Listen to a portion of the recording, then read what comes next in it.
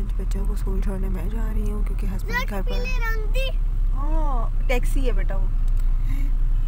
और उनको मैंने स्कूल ड्रॉप करना है। सब भी कह रहे थे इस तरह की गाड़ी लेनी है।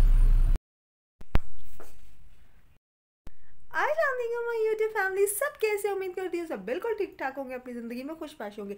जी जनाब नए दिन का आगाज़ हो चुके हैं और मैं हाजिर हूँ एक नए व्लॉग के साथ। आप सोच रहे होंगे कि आज ये किस रूप में और कहाँ से? तो हुआ कुछ यूँ कि मियाँ मेरे गए हुए हैं आउट ऑफ़ सिटी और बच्चों को मुझे छोड़ना था स्कूल तो सुबह सुबह आप बच्चों को भी तैयार करें, आप उनको नाश्ता भी करवाएँ और फिर ख़ुद भी तैयार होकर निकले, ये तो इम्पॉसिबल बात है।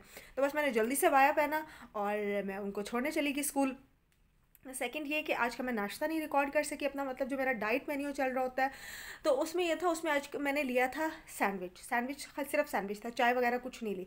सैंडविच था सैंडविच में मैंने ली थी एक ब्रेड दो नहीं लेनी, सिर्फ़ एक ब्रेड लेनी है, और उसमें क्या करना है आपने कि उसी के अंदर हल्की सी मैंने फजीता सॉस लगाई है आइसबर्ग लगाया है, शामी कबाब और अंडा। ये करके बहुत अच्छा से बन जाता है और बड़ा मज़ा आता है इसको खाने में, और हेल्दी भी होता है, ठीक है? और इसमें बस अभी मैंने ले ली, चाय मैंने नहीं ली क्योंकि मुझे जो बारह एक बजे भूख लगेगी ना तो उसमें मैं चाय के साथ पंजीरी लूँगी। ठीक हो गया और बाकी भी ज़रा फ्रंट कैमरे से बात करें। अच्छा तो ये सब चीज़ें मैंने ली हैं क्योंकि मुझे बहुत ज़ोरों से भूख लगने लग गई थी तो मैंने जल्दी ले लिया। गले में ख़राश अभी भी बाकी है बस आज बच्चों को भी मैंने स्कूल से लेने जाना है उनको स्कूल से भी लेना है और घर भी देखना है। और आज क्या बनाएँगे हम? आज शायद मैं कुछ भी ना बनाऊँ। अच्छा हाँ आज मैंने कबाब वाले वो करना है। तो लेट सी कि मैं कबाब के अगर मैं मैंने बनाया तो उसकी रेसिपी मैं अपलोड करूँगी। आप मैंने वो, उसकी कर दी है पास्ता की वो जाके देख लें। नेक रेस्ट उठा लूँ क्योंकि गाड़ी में चलाने के काम आएगा। निकालने लगी हूँ।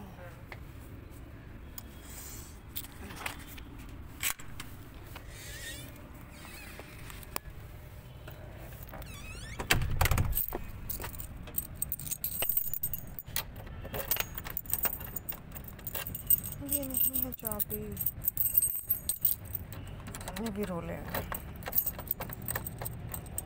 एक मिनट।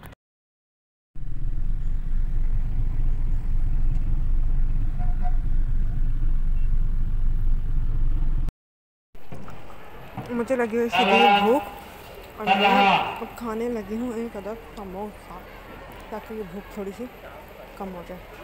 बच्चों के स्कूल आई हुई हूँ और समोसा खाती हूँ यहीं पर बैठ जाती हूँ।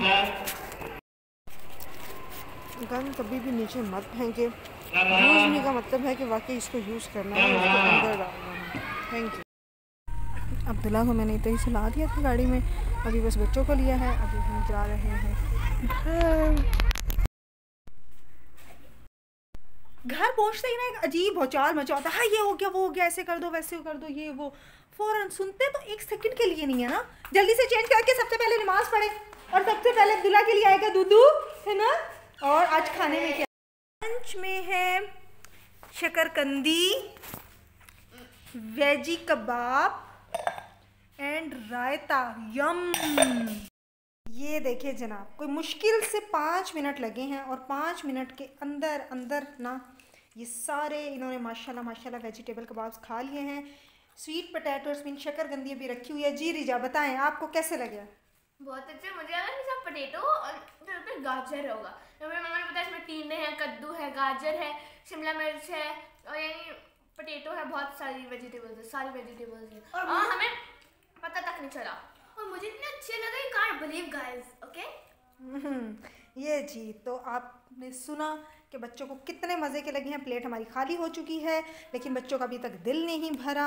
बच्चों की नमाज़ हो गई है डन। अभी नमाज़ पढ़नी है मैंने, और फिर आपसे बातचीत करते हैं। जी तो मैंने बनाना है कावा। बनाना नहीं है, बल्कि बना रही हूँ। चूल्हे पे मैंने पहले से देख के रखा हुआ है, डाइट कावा। इसके बगैर ज़िंदगी है अधूरी। वर्ल्ड बेस्ट कावा ठीक है? और साथ में हाथ में मैंने पकड़ा हुआ है लेमन। साथ में पढ़ रही हूँ, अभी असर की नमाज़ से फ्री हुई थी तो मैं साथ बस भी कर रही हूँ। अभी लेमन मैं कट करती हूँ और इसके साथ में स्वीज कर ये देखिए तंदूरी रखी हुई है।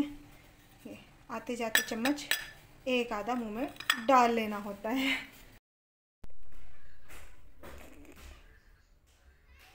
कावा पिए साथ साथ अल्लाह ताला का ज़िक्र करें और चिल करें। जी जनाब तो अब टाइम हो गया है मी टाइम ये वो टाइम है जिसमें मैंने आप लोगों से बात करनी होती है, आप लोगों से कुछ चीज़ें शेयर करनी होती है और आप लोगों से रिक्वेस्ट करनी होती है कि प्लीज़ वीडियो को लाइक किया करें चैनल को सब्सक्राइब कर दिया करें। आज खैर ये तो चीज़ें चलती रहेगी। आज एक बहुत ही तकलीफ़ दे हादसा हुआ। और वो हादसा क्या है, आप सब जानते हैं कि इमरान ख़ान पर हमला हुआ है और वो भी कातलाना हमला हुआ है। मतलब आ, जो कुछ भी होता रहा मतलब अभी तक कभी कोई मर गया, कभी किसी का मर्डर हो गया, कोई कोई अगवा हो गया, ये इन चीज़ों से जब नहीं कुछ हुआ तो इमरान खान पर अटैक हो गया। देखिए मैं कसूरवार किसी को नहीं ठहरा रही हूँ। किसी सियासतदान को नहीं किसी सहाफ़ी को नहीं किसी का नाम नहीं ले रही देखिए हर एक इंस, बुरे इंसान के अंदर अच्छा इंसान छुपा हुआ है और अच्छे इंसान के अंदर एक बुरा इंसान छुपा हुआ है। दोनों चीज़ें होती हैं ठीक है?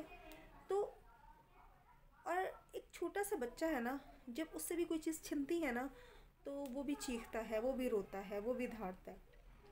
तो ये फिर एक सियासत है। और सियासत में आप कैसे अंदाज़ा लगा सकते हो कि कौन सच्चा है, कौन झूठा है? कोई पता नहीं होता, आप कुछ नहीं कह सकते। तो फ़िलहाल तो जो है, वो ये है कि हमें दुआ करनी है। देखिए, इमरान खान किसी भी पार्टी से अच्छा है या बुरा है, ये तो नहीं पता ना।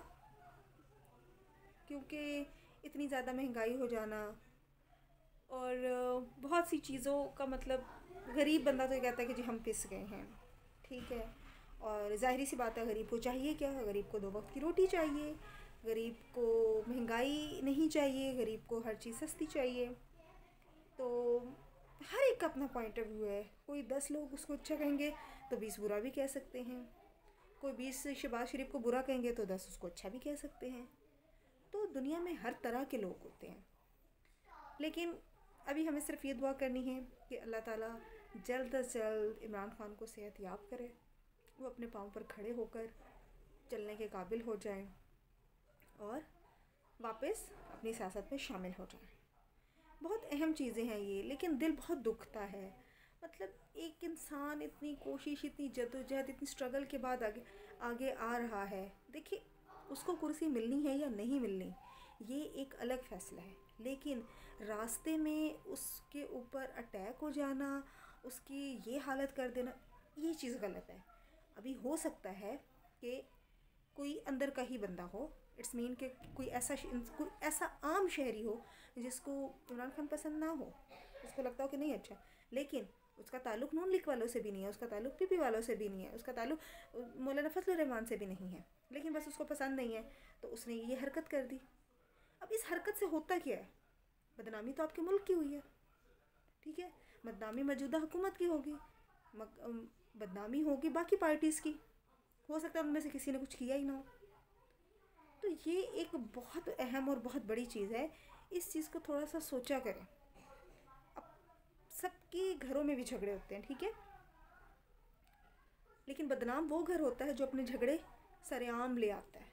तो इसी तरह मसले, मसाइल, रंजिशें और दूसरी डिस्टर्बेंस हर मुल्क में होती है। लेकिन बदनामी उस टाइम होती है जब आप इसको बिल्कुल सामने फेस टू फेस आके करने लग जाते हैं। तो प्लीज़ अमन कायम रखें, बाहर जो इतने बुरे हालात हो गए हैं, टायर जलाना मार पीट लोगों को ज़ख्मी कर, इससे हासिल क्या होता है? ये तो बता दें। ये मतलब हमारे, ये सब करने से क्या होगा क्या? हुकूमत बदल जाएगी। इमरान खान क्या बेड से उठ के भागने लग जाएगा? हर चीज़ को वक्त लगता है।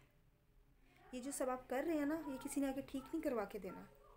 लेकिन इसकी वजह से कितने लोगों की ज़िंदगी कितनी मुश्किल में गुजरेगी, इसका आपको अंदाज़ा नहीं प्लीज़ ये थोड़ी सी चीज़ें सोचा करें। अपने मुल्क को आप ख़ुद बदनाम कर रहे हैं। सियासतदान तो बाद में आ रहे हैं ना। वो तो जो कर रहे करा रहे हैं, वो एक बात की कहानी है। लेकिन ऐसे मौका, ऐसे मसले मसाइल होते हैं इन मौक़ों पे जो लोग जिस तरह का एक्शन रिएक्शन करते हैं, वो क्या है? वो इसकी बड़ी बड़ी न्यूज़ चलनी है बीबीसी पे। सारे मुल्कों में दिखाया जाना है कि पाकिस्तान में इस टाइम ये हालात हो रहे हैं। तो प्लीज़ कंट्रोल योर सेल्फ अपने आप को संभालें। इस तरह के हालात मत पैदा करें। मुश्किलात आपने और हमने ही बर्दाश्त करनी है, ठीक है? बीच वाले लोग पिसते हैं। समझने की कोशिश करें। आज का वाक़ खैर बहुत दुख हमेज़ है, बहुत तकलीफ़ दे है, बहुत अफसोस हुआ है, लेकिन बी पेशेंट अल्लाह ताला अपना करम करे। तो आज की वीडियो को हम यहीं पर अख्ताम करते हैं। और आप से गुजारिश है कि वीडियो को लाइक कर दिया करें, चैनल को सब्सक्राइब कर दें। बेल आइकॉन को ज़रूर प्रेस कीजिएगा। अपना बहुत सारा ख्याल रखिएगा, दुआ में याद रखिएगा। अल्लाह हाफिज़। इन कल मिलते हैं